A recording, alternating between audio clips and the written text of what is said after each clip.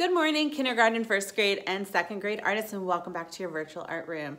Today you will begin your focus project for our last element, texture. Remember, texture tells us how something feels or how it might feel.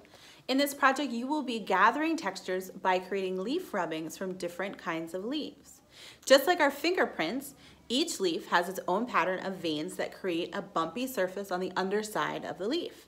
Different types of leaves have different placement and different size veins to make altering textures. As you go about gathering your leaves for this project, look at and feel the leaves that you have and check out the bottom side to see the vein pattern of each one of your leaves. Before you begin, make sure that you have all of your materials ready to go. You will need paper, cardstock is best, three to four different leaves, and block and stick crayons.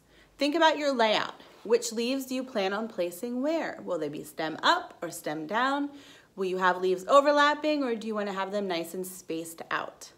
Once you have a plan, you can begin.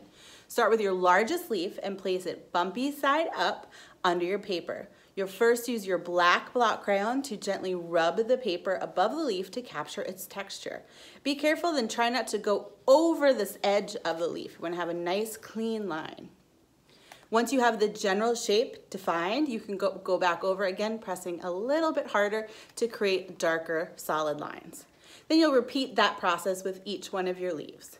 Then use stick crayons to color your leaves using those black lines that were created by your rubbing as guides. Remember to color slowly and with purpose. Lastly, you will use your blue block crayon to add a nice sky background to give the impression that leaves are falling from the trees.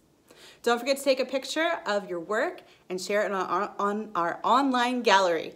I can't wait to see your leaf rubbings. Have a great day.